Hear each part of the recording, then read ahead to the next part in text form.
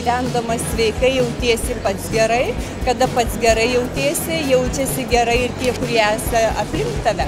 Žmonėms trūksta informacijos o čia toji vieta kur gali jos gauti labai daug. Šita paroda yra didžiausia lietuvoje sveikatos paroda ir mes matom kad čia ateina virš dvidešim penkių tūkstančių žmonių į šitą parodą. Manau kad tiesiog kiekvienas miestas turėtų va tokio dydžio parodą turėt nes e, tai žmonėm e, jos įkvepia sveikiau gyventi, jos įkvepia jos judėti, e, sveikiau maitintis, galvoti ir prisimti atsakomybę patiems už save. Čia yra betarpinis bendravimas.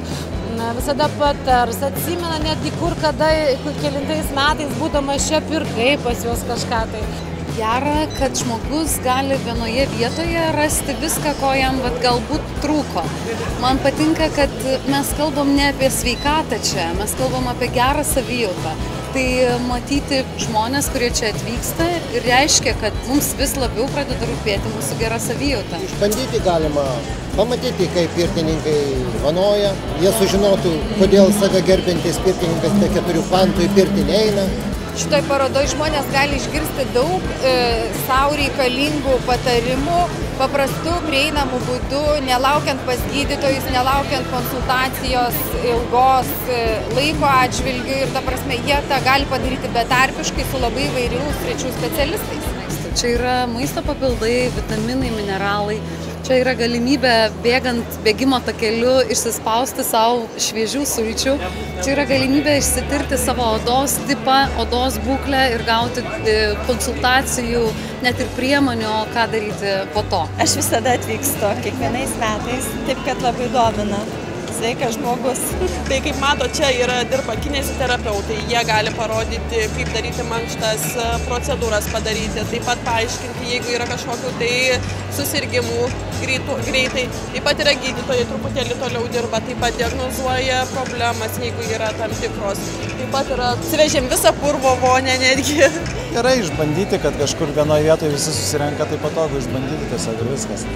Buvo smalsu pasižiūrėti galbūt kaž, kažką tai naujo sužinojom, pamatėm, paskaitėlę vieną išklausėm su vyru kartu.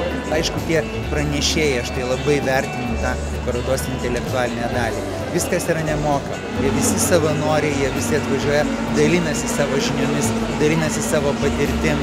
Ir tai yra didžiulė vertybė. Mes visada visus žmonės kviečiame e, susirgus kreiptis į pacientų draugijas, nes tenais irgi gauna jie ir emocinę, ir informacinę paramą, ir, ir draugijos kviečiasi įvairius specialistus, kurie kalba įvairiomis aktualiomis temomis. Mes einam pas ligonius, mes einam e, į vaikų onkologinį skyrių, klinikose einam pas e, suaugusių onkologinį skyrių, einam į senelių namus, socializacijos centrus. Tai yra geriausia galimybė prisistatyti geriausia galimybė pašnekėt, papasakot, e, nauji ryšiai. Visuomenės švietimas yra labai svarbus, juk jeigu tu nežinai, tai tu ir nežinai, ką tau daryti. O kai tu žinai ir dar turi galimybę tai įgyvendinti, dar turi galimybę tai pasitikrinti, pasižiūrėti, tai tikrai labai smagu. Daugiau tokio džiugesio, motivacijos žmonių akise, nu labai džiugina, nu smagu, tikrai labai smagu.